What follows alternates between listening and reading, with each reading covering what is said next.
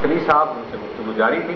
अच्छा ज़रा ये बताइए अली साहब के ये जो तकलीद का तस्वुर हमारे उलमा के अंदर मौजूद है इसको आप कैसे देखते हैं? तकलीद क्या लाजमी समझते हैं आप? तकलीद को ज़रूरी समझते हैं? फ़र्ज़ समझते हैं? क्या है?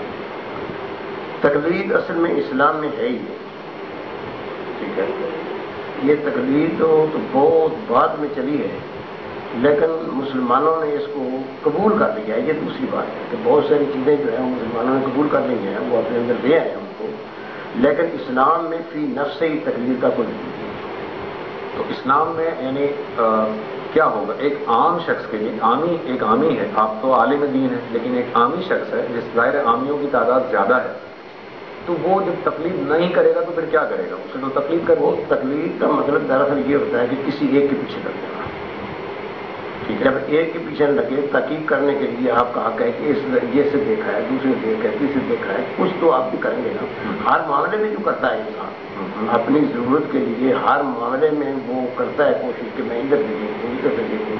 चार अनेक चीज़ लेनी हो तो उसके बारे में भी कोशिश करता है तो उसका दीन तो इतनी बड़ी अहमियत वाली चीज़ है उसको कोशिश करनी चाहिए। तो जब एक जगह से दूसरी जगह से तो अल्लाह के फजलो कर्म से किसी मकाम पर उसका दिल जो है वो यकीन पाएगा। ठीक है। लेकिन वो ये अगर इस एक जगह पर जम गया है जो ये कहते हैं वो कहना बड़ा तकलीफ़ इस चीज़ का नाम है। और इसकी इस्लाम जो है वो मजम्मत ही कर रहा है। हिमायत नहीं कर रहा है।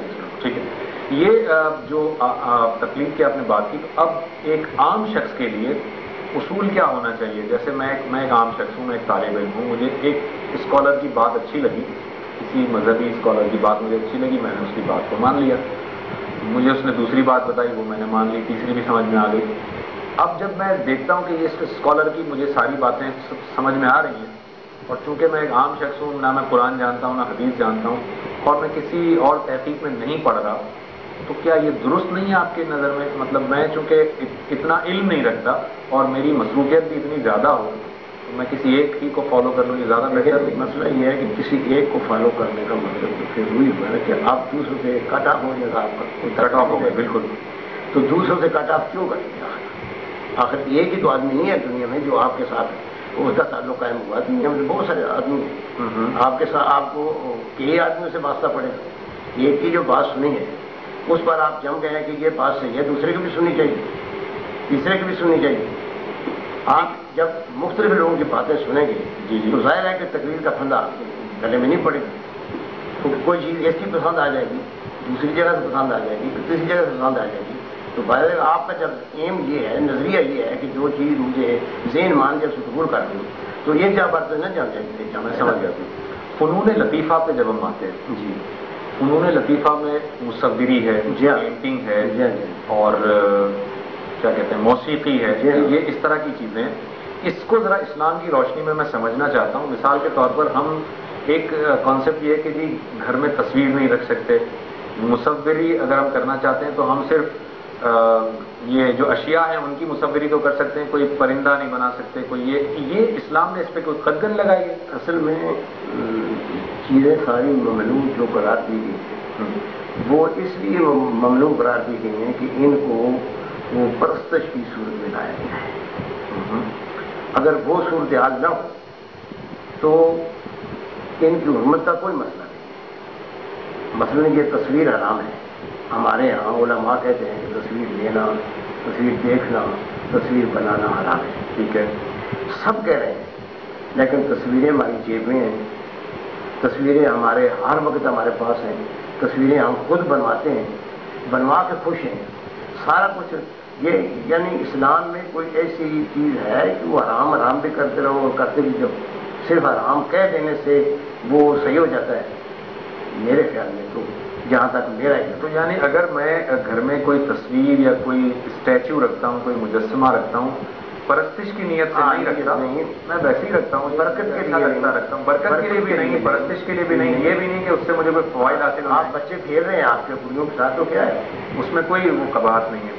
और क्या मौसीकी का कोई आमतौर पर कहा जाता है कि जी मौसीकी को कुरान में हराम करार दिया गया है और आमतौर पर जो आयत पेश की जाती है वो लाहवल हदीस वाली आयत पेश की जाती है और इसी तरह कहा जाता है नबी सल्लल्लाहु अलैहि वसल्लम जो है वो तो मौसीकी के हालात तोड़ने के लिए आए थे। इस पर ज़रा वजाहत कर दीजिए। मामला ये है कि हफ़्ते इतदार से कोई चीज़ भी आगे निकले तो खराब। इकदार के अंदर रहकर ये लान और रह जा तो कुरान ने बार बार कहा है। और हदीस में इसकी वजह है। यानी सुथरा तो कुरान कारी पड़ेगा तो है तो मौसीकी ज़ाहिर है जहन है वो। बिल्कुल सही कह रहे हैं बिना है लबो लहजा ही है ना। तो वो भी एक लबो लहजा ही पेश कर रहा है। ये कुरान का लबो लहजा पेश कर रहा है किसी शेर का लबो लहजा पेश कर रहा है कुछ और इस लहजे में पेश कर रहा है। हम्म। मकसद ये है कि अगर उसके साथ नाचना गाना कूदना ये इस तरह की इतनी वो ना हो कि जिससे आदमी जो है वो गलत तरीके की तरफ़ चला जाए। तो मौसीकी फ़ी नफ्स ही तो इंसान की सेहत के लिए इंसान को समझने के लिए इंसान की खुशी के लिए दिलजमी के लिए यानी आप बेहतर आवाज़ अच्छी आवाज़ तो उसको पसंद है। तो फिर ये लावल हदीस वाली जो आयत आमतौर पर पेश की जाती है ये क्या मतलब है इसका? आ, असल में वही बात है ना कि लावल हदीस हदीस तो आप कह रहे हैं वैसे अल्लाह के रसूल की बात को कहते हैं। जी हाँ। आप उधर जाते हैं तो उस तरफ़ हम ले जाते हैं कि अल्लाह के रसूल की बात के सिवा किसी को हदीस ही नहीं जाता। लाहौल हदीस ने तो आपको बताया कि कोई भी गलत बात हो तो वो लाभ है तो बात वो लाभ है। लाभ है। जो लाभ का मतलब ये सिर्फ़ खेलना या इस तरीके से वो दिल जमी के साथ वो नहीं। मतलब ये कि उसमें इस तरह मसरूफ हो जाना कि बाकी कोई चीज़ याद ना रहे। असली साहब फिर मैं ये जानना चाहूँगा कि फिर हदीस के अल्फाज तो बड़े वाजे हैं इसमें। हदीस तो कहती है कि नबी सल्लल्लाहु अलैहि वसल्लम ने फरमाया मैं मौसीकी के हालात को तोड़ने के लिए आया हूँ? और आपने बहुत सारे मकाम पर हदीस असल में क्या है? ये आलात तोड़ने के लिए आया हूँ। कौन कौन से आलात थे जो आपने तोड़े? सिर्फ़ इतनी बात कह रहे हैं मैं आलात तोड़ने के लिए आया हूँ। ये किसी हदीस का कोई तर्जुमा आपने अपनी जो लिटरेचर मुझे बताया था उस लिटरेचर में आपने सूद पर भी लिटरेचर लिखा क्योंकि आप मौजूद है। मैं जरा ये जानना चाहूँगा कि सूद है क्या? जरा इसकी अगर मुख्तसर तारीफ़ आप कर दें सूद किसे कहते हैं? दरअसल सूद का लफ्ज तो हमारी ज़ुबान का लफ्ज है, ठीक है?